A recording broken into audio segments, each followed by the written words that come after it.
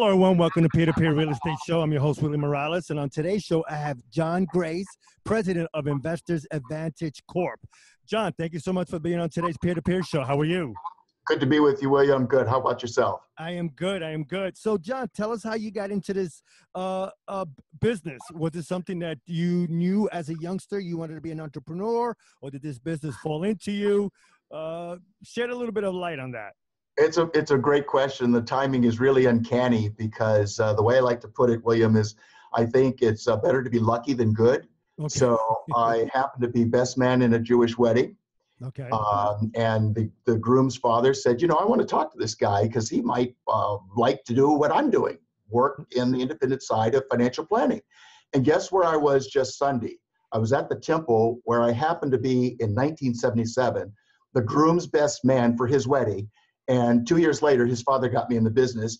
And so I called my friend in Seattle on Sunday as I'm leaving. Guess where? You, will never guess what I'm leaving. The temple where, let's say, did I last see you in 1977? We've seen each other since. But uh, by the way, how's your son? Well, my son, uh, thanks to your talk in June, uh, when you were here with my wife in Seattle, is getting his license, is getting in the business. And I'm okay. So I got to leave a message for him to say, by the way, I'm you. You know, you still own me. If there's anything I can do to help you, uh, please feel free to call on me because this uh, gives me great satisfaction to be able to help you the way your grandfather helped me. And you didn't meet your grandfather, so I can tell you some stories about grandpa you don't know. That's really how I ended up in the business, will you?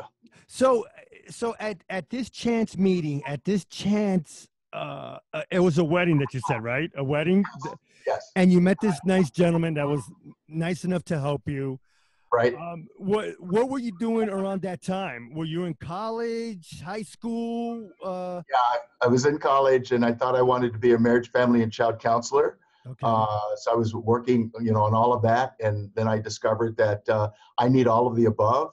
Uh, and uh, the the challenge I found with so many of the professionals in the industry, uh, they have really good intentions, but uh, I found a number of people who would say things like, "How can we help these hopeless people?" and "Where's my raise?" and, and that's when it became clear to me that maybe this isn't where I need to be. I gotcha. I gotcha. So did you? So you started the company, and so it's always been Investors Advantage Corp. Did you? That's the company you started in in in the in the seventies.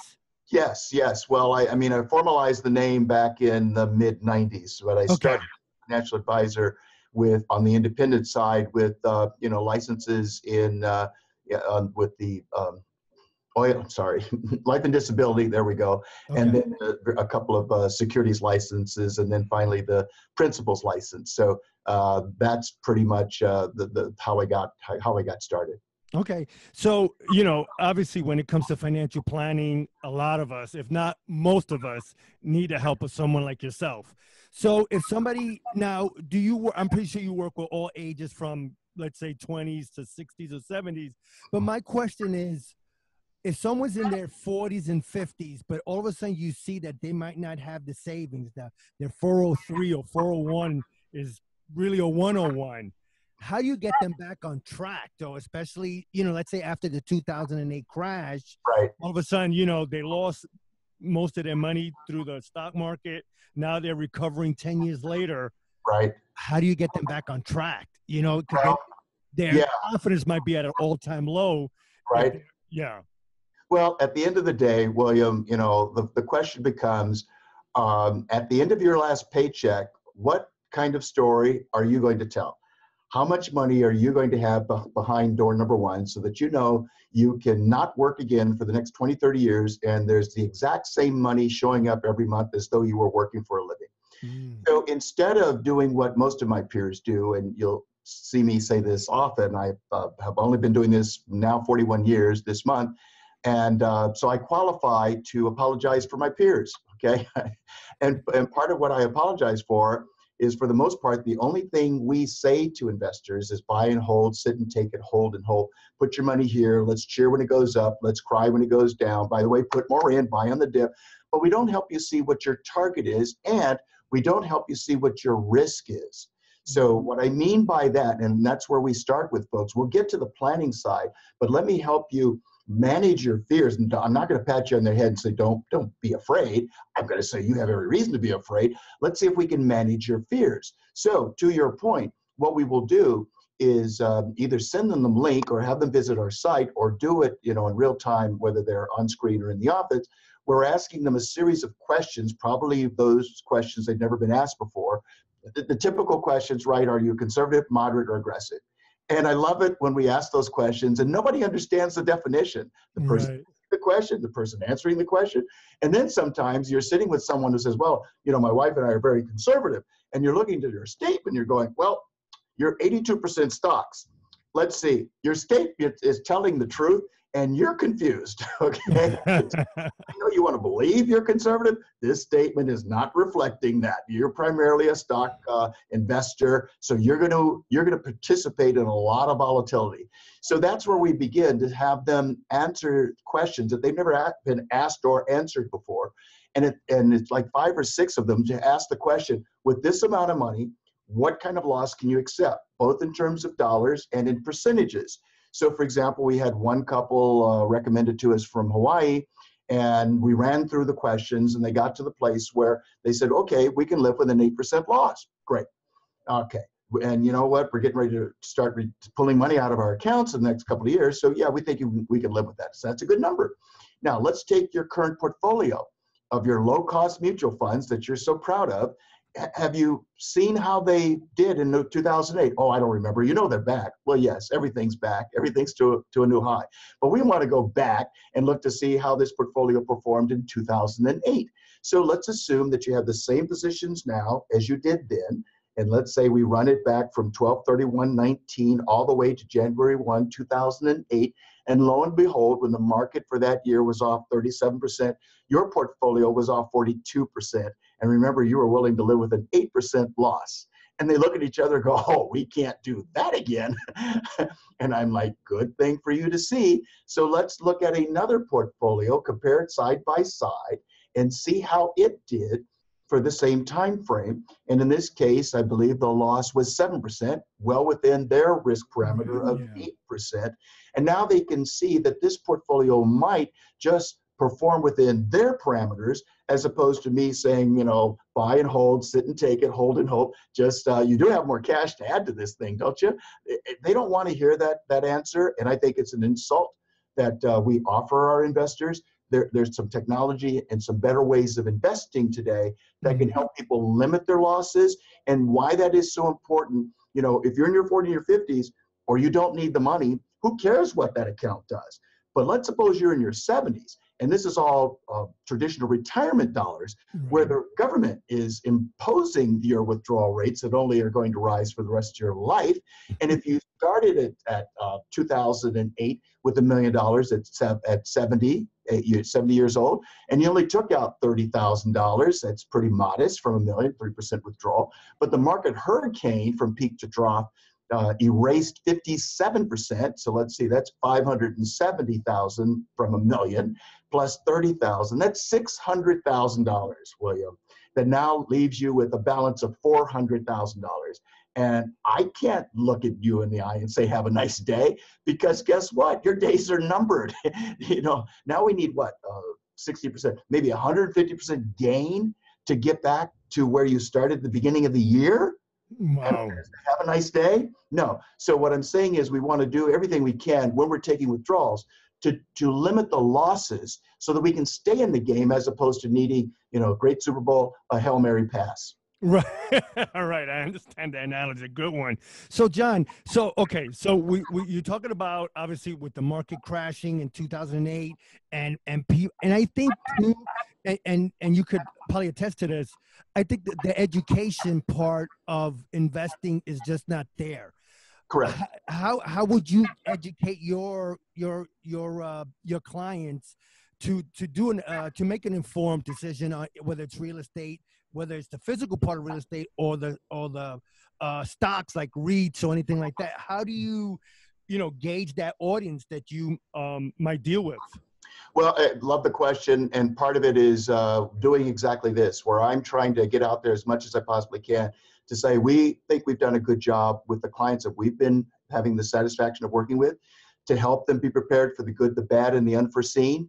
Uh, a lot of folks, um, my peers, tend to be very lazy, frankly, and we only put you in what we put you in, and we never look at it again. And as long as it's back, we say leave it alone. I'm not satisfied with that. So to me, I'm accepting responsibility to go, wait a minute, how many more people are going to have to take withdrawals for the rest of their lives? And, and again, you know, the, the actual number for, for the withdrawal rate at seven and a half from a traditional retirement account, uh, well, now it's 72, okay. but at seven and a half last year was like 3.65 and you had to start withdrawals at 70. But if you're around to 95, that structure showed that the withdrawal at, at, at 95 was 11%. So you can see that this required minimum distribution only marches north every single year, which means, as I say, we need to be more proactive and better prepared to limit the losses. One of the ways we try and do that is, uh, for example, in uh, December of 2018, markets off 20% on New Year's Eve. We actually called clients and said, "Hey, William, um, and, and this is how it actually went. You pick up the phone and go, John, you're calling on New Year's Eve. Something must be desperately wrong. Well, William, we thought we were calling with some good news. What could that possibly be? Well, clearly, William, you've been watching the market, and you're right. Just in the month of December of 18, market's off 13% from September 21. I think the total is 20, 21% as a loss. Right. We're looking at your account in real time on Christmas Eve, and I want you to know your account's down about six and a half percent. Oh, oh, John, that's good news. Well, yes, William, that's why we were calling. oh, well, Merry Christmas, John. so for us, it was a real testimony, if you will, of you know what we've been fortunate uh, to accomplish by virtue of two things: uh, limiting the losses thanks to moving out of risk assets as the market's going not not down, not holding those shares, but selling those shares as the market's getting nastier every day so that we can limit the losses. It, it wasn't happenstance, right? In 08, we can show investors that most started with a portfolio of let's say 5% cash. Right. But in many cases, the portfolio became 60% cash or more that limited losses to let's say less than 20% when the market was off 37% for that year. Right. So one is is the and the best way to put it, I think, William, to, for people to kind of capture this. Remember the movie uh, Karate Kid, Wax yes. on, Wax off. Yes. Ideally, in 2008, you wanted out, not uh, retroactively, not quarterly, no, maybe daily. You, we want to hire the professionals where they're looking at your money every day, and the question is, do we put more coal on this fire or do we put water on this guy? Okay. Uh, right. Wait, we wanted all the water we could get. Get me out of the shares, have me go to cash. That way I can limit my losses to let's say 20% or less. And then starting March 9th or so, 2009, that's when the market took off in a very big way. Now we want to get back in to enjoy all of those gains. So if we limited the loss uh, 20% or less in 08, and only got 25% or more in 09, guess what we have? More money 12, 31, 9 than we did 1108. Maybe a year or two it took to get back to even. In the more traditional accounts, it took four or nearly five years for many of those equity funds to get back to even. So number one is active management. And then number two, we, we're, we're not saying this is a template, William, but we're saying let's look at the Yale endowment, like $29.4 billion. And notice it has eight asset classes, not 60% stocks, 40% bonds, only 3% uh, US stocks, 4%, if I'm not mistaken, for governments, and 15% for international. So they have roughly 24, 25% the way my industry has told you, Bill, you should have 100%. That to me is very interesting. And then notice they have, um, you know, five or six other asset classes and no big bets so that they can weather the storm no matter how it gets ugly. So number one, um, uh, you know, have uh, active management in the equation, and number two, diversify unlike you've ever diversified before. Sorry so, for the long answer. No, no, no, that's fine. So we're talking to have uh, different types of asset classes. So in other words, you know, you got. to I'm just throwing a number, a hundred dollars. You want to put yeah. ten here, fifteen there. Is is that the way to go? Uh, well, I'm not saying. I, I, I, as, as, an example as an example. Well, see what what I'm what I'm saying is notice the only message we've conveyed is is regardless of your age or what the market's doing a diversified portfolio is 60% stocks 40% bonds. Right. Well maybe that was good 40 years ago. Right, right when we had a regular job with a pension yeah right uh, and and by the way when you could uh, expect a 10% to a 12% return annualized all right things have changed. It's gotten more difficult, almost impossible to average 10%. Right now, we're trying to average 7.5% maybe on an annualized basis. But I noticed in the old days, back in 95, it could be 100% corporate bonds. Well, today, we, we can, to get the same kind of return, we have to accept more risk and we need to have more uh, legs under that portfolio stool okay. so that we can get the same kind of return. That's the kind of thing that we're trying to bring to people's attention. And the other one is no big bets it's so easy mm. for people to be unconscious and not recognize whether it's stocks, like we are talking about the guy, you know, this is a rocket scientist, one very conservative, your portfolio is telling me more than you're telling me. Okay. Or in this case, you know, the wife's a realtor and they have five houses, they don't like any of them. So 80% of their net worth is tied up in real estate. Mm-hmm. 80%. That's a big bet. I'm not saying it's a bad bet. I am saying it is a big bet. so when we look at the Yale endowment, again, 29.4 based on their last report, June 30, I believe their largest positions of all of, I think it's 17.6%, and it might be venture capital. They have some other positions, but notice that's their largest position for most of us.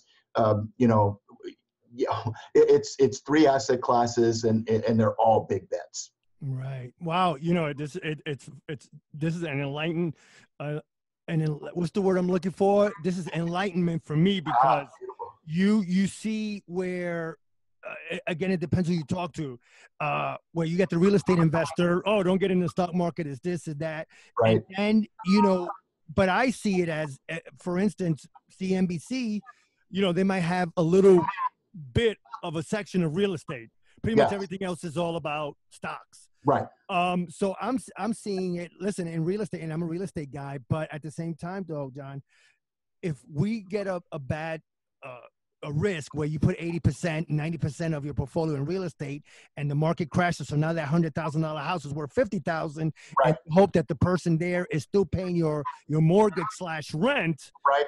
You know, you, you got a huge loss there where in, in the stock market, and I remember I was listening to somebody where you know if you invest like in real estate stocks or in or in uh, mutual funds or index funds, you're pretty much uh, touching the whole gamut. Um, is am I correct in that? Well, you're touching the whole gamut when it comes to the gamut of stocks. Right. it's a diversified portfolio of stocks, and and we have to be a little careful, I think, because what often happens, in fact, what's going on right now feels remarkably similar to me in terms of what was going on back in 1999. Everywhere you threw a dart, it was green. It was good. It was very good. and then we'll all remember that, uh, you know, starting around February of 2002, the wheels came off the wagon. Mm. So what I'm saying is, uh, is not about the prediction. It's all about the preparation. Right. And when it comes to real estate, I mean, certainly, you know, it, it, it's a nice thing. But if it is the case, as I suspect, based on the research we pay for, that um, you know people dying will shortly outpace people buying. Mm. I'm submitting that if that let's go look at it like this, because uh, you know we've all been taught that the, the the thing we're supposed to watch when it comes to real estate is what inventory, interest rates, and location. I'm going to say those are important, but they're not the primary driver. The primary driver is looking at the buying behavior of ordinary Americans based on age. Mm. So let's start at a very basic level.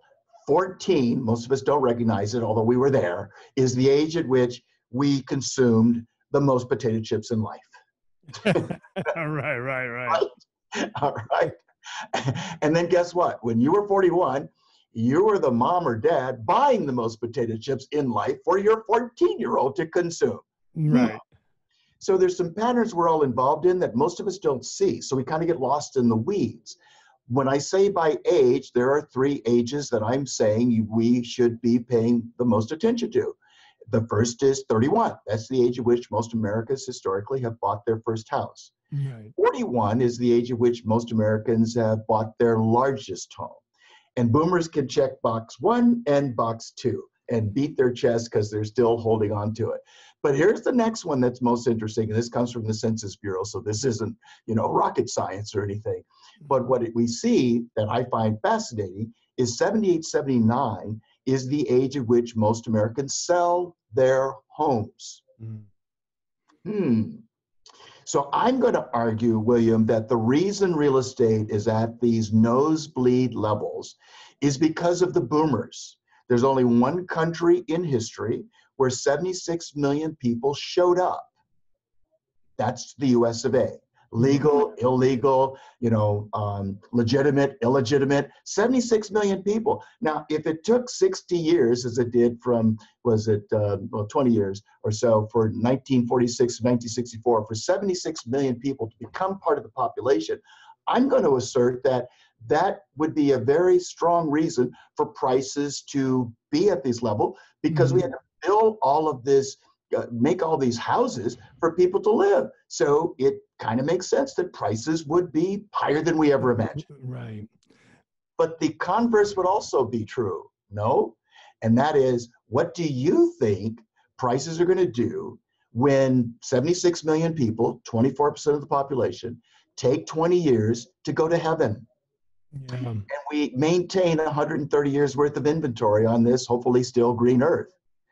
Mm. It wouldn't surprise this observer if the uh, you know the demand goes to heaven and the prices, including rents, could go to hell over the same 20 year period. Right, right, right. Because then you got these baby boomers that are looking to downsize. Yes. Or like you said, you know, they go to heaven. Yes. Um. So yeah, you're gonna have tons of inventory out there eventually, and you know, are you going to have enough buyers? And now, in your studies or in your uh, level of circle, do we see uh, the millennials getting into home ownership, or depending on who you listen to, it's more of a rental? Generation? Right now, it's more of a rental, and, and the rentals. I want to caution people here because people people look over the last sixty years, you've only seen basically one thing. I mean, so uh, real estate prices dip uh, 2008, 34 percent on average across the country. Uh, but the uh, what's what's happening with rentals is the demand is coming from both sides, the millennials and their parents. But mm-hmm. notice, you know, the parents had to have these five, six thousand square foot homes with all of this crown molding, and they're five uh, miles or ten miles away from the lo- local store. Millennials aren't interested in those uh, McMansions. They don't care, and they like uh, the cities, and they like diversity, and they want to walk to the market or have their food delivered. So things are changing, and and I, when I look at uh, people say, "What should I do?" It's like, well, if you like the houses you have, and you don't care if they're going to drop, maybe in uh, Cleveland 13%, but in Los Angeles maybe 62%. I think is a real possibility. If you don't like that risk, the best way to do it is find a hedge, maybe in the stock market, but the best hedge might be sell while you can get this top dollar Right. Let the movie unfold with your popcorn in your lap and your money in your wallet and see what happens. Because you know the demand for renters I think will continue to be very strong but that doesn't mean that prices won't weaken. And as an example many people are aware of the stock market great depression yeah. right 29 to 32 off about 80% but they're not aware for example that New York real estate during the same 30 month period, William, was off 69%. Huh? Wow. now, when, when my industry says, well, William, you know, it always comes back. Yeah, stocks took about 20, 25 years to come back. But let's assume you didn't sell a share and you didn't take out any money right. uh, hmm, for it to come back. You did either one of those things, you did not get full market value. Real estate, New York City, for decades, as one source shares with me. For decades. And then let's keep in mind, if you're an adult in the early 1900s, life expectancy was what, mid 50s? Right. So uh, let's see. You had a million dollars in real estate, a million dollars in the stock market. The real estate went to 300,000. The stock market went to 100,000. What was $2 million is now $400,000. And neither of them came back while you were here. Wow. Just to me that you probably died with regret. And your heirs don't care what you paid for it because they have it now. they don't have any money in this thing, either one of these things. So who cares? But Wow. you were king of the hill, and now who? What was who's who is who's he? You know, you're not having a nice day from what was two million dollars. You wake up and it's suddenly four hundred thousand, and, and you don't get back to two million. You're just not having a nice day, probably for life. No, definitely. I mean, that's oof. And and back in the, in the, in 29, I mean, we we saw people, you know, I mean, we heard people committing suicide and all that. And and unfortunately, you know, like you said, if you would have not taken any money out, maybe like you said earlier, maybe put some money back into these Right. some of these stocks. Who knows what happens? You know what I mean? If, if you would, yeah, go ahead. But you have to have the cash. Equity, Yeah, you, no, exactly. yeah, no, no, right, yeah. exactly. you get the cash, and, then then you can buy things at a bargain, right? If Right. you hold on to equity, what are you trying to do? You're trying to patch it up and hope it comes back. But you know, there's another Right. example, and, and and and that is Japan. Remember in the late '80s, to a person, we all agreed they were going to be number one in gross domestic product. They were just going to eat our lunch, right? Right. and notice that everything went up uh, you know in the last part of the of the 80s for japan. And suddenly around 1991 all of it two things happen william. We, we see an 80% decline to their stock market and a uh, 70% decline to their real estate market. Mm. that's about 30 years ago almost. And guess what? Neither are back. Neither one is back to where they were 29 30 years ago. Mhm. neither the stock market nor the real estate market. market. So yeah, you may say, well, you know, New York was an outlier. It might be, but now you've got an example with Japan, and I'm going to submit to you the simple answer for that is the, the the what the U.S. has benefited from, Japan did not, and that's we had a baby boom generation and we had immigration. Right. They had neither one. Mm. So they are older than we are, but we're following the exact same pattern. There are now more people globally, age 65 and older, than five and younger. We've never been here before. Wow. That is completely unprecedented. So it's a brand new ball game that we're involved in right now. No, especially with the with the different generations, like you said, the baby boomers and the millennials.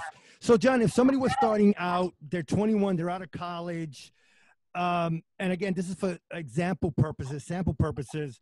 What would you put in, a, like a college kid or someone, let's say, who's a has a nine to five, but they're in their 30s, they didn't invest early on, you know, because Right. they were scared.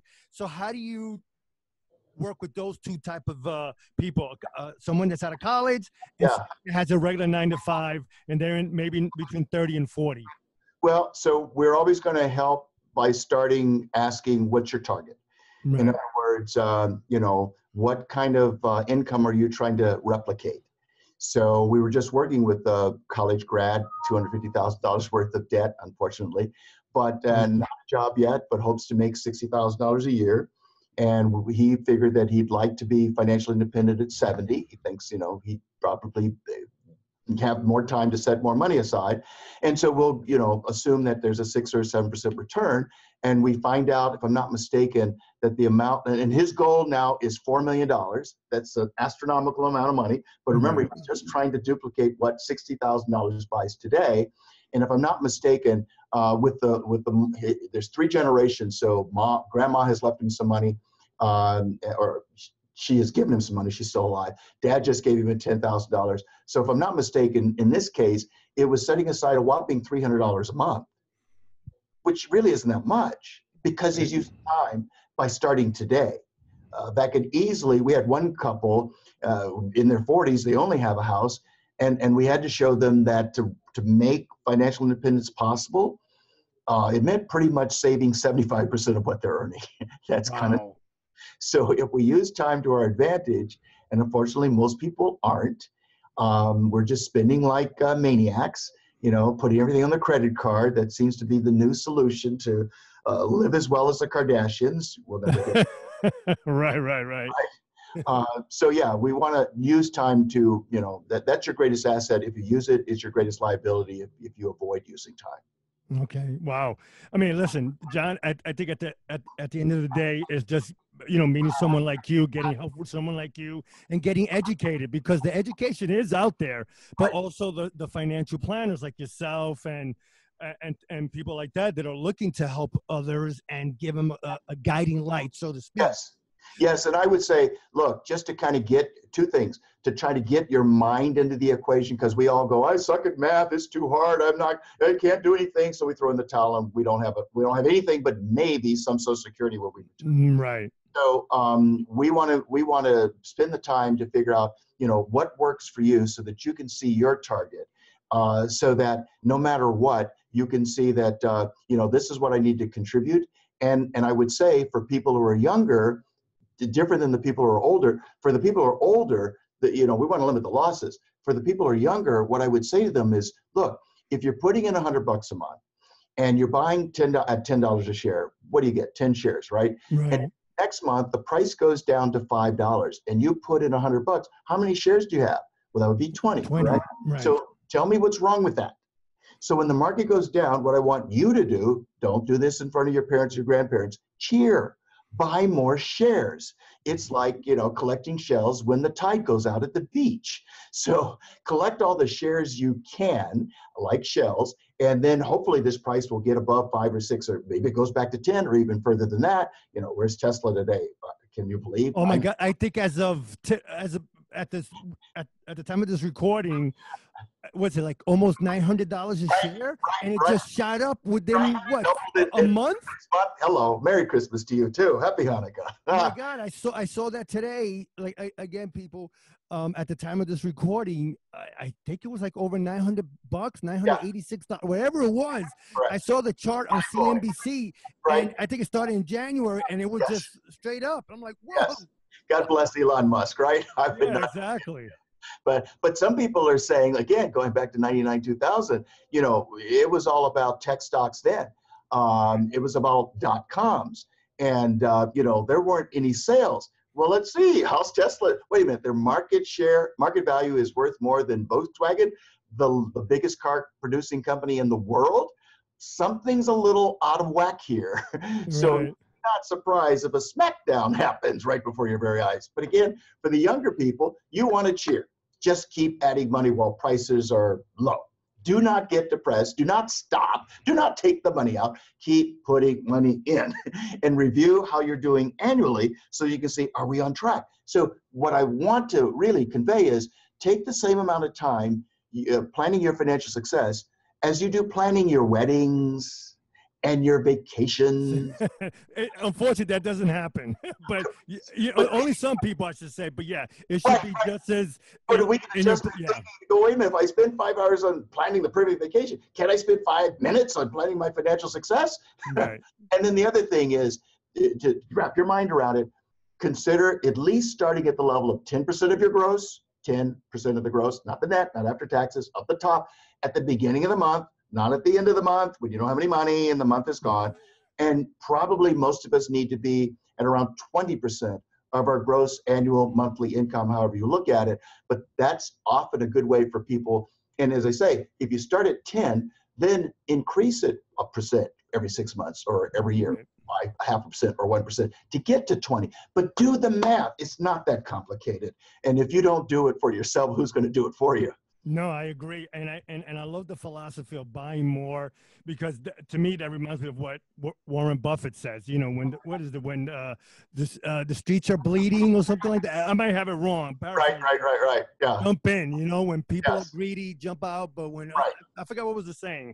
Yeah, yeah, yeah. No, you're close. yeah but I I- i love the philosophy of definitely put you know when the stock market is down hey just buy some more because eventually it'll go up and all of a sudden like you said you have 10 shares or you know now you got 15 shares and 20 but also you're increasing your net worth Right, right. So just to be clear, that's for people who have a lot of time on their side. yes Totally different story for people who are taking older going to be starting to take withdrawals anytime soon. we want to limit their losses Yeah, you you absolutely want to limit your losses to some number that you can live with. That's a personal question and a personal answer, and this and then see if your portfolio can be designed in such a way where it you can see the evidence that it performed within you know a close parameter of your limit. that gives you some cold hard confidence that the next time the grits hit the pan, you know, as I say, 2018, market was off 20, our clients off six. This is a conversation I can have all day. Right, of course. you know you're in the game. You're you're not kicked to the curb. No, I appreciate. Well, listen, John, um, um, you cover pretty much everything about uh, wealth management. I really appreciate it. So, John, if somebody wanted to get in contact with you, what's the best way? Well, we've got a phone number. It's uh, 888 Why Be Poor. That's the that's the toll free 805 495 2077. A lot of this material is posted on our website. It's easier than it might sound. It's Why Be Poor, easier W H Y B E P O O R dot com. Why Be Poor dot com. Sounds good. Well, John, again, thank you so much for taking a few minutes to talk to us today. My pleasure, William. Thank you, buddy. All right, Do you take it easy. Bye. Bye bye now.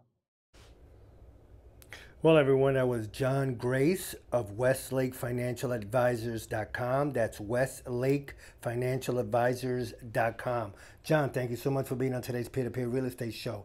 You could go to peer-to-peerrealestate.com. That's peer to number two, peerrealestate.com. Check out our past shows, our blog, and our resource page. Also, if you guys go to iTunes, look for us on Peer to Peer Real Estate Podcast. Please subscribe, leave a review, tell us how we can make this show better. And before I go, guys, uh, please keep the momentum going. Really believe good things will happen. Do not give up on your dreams.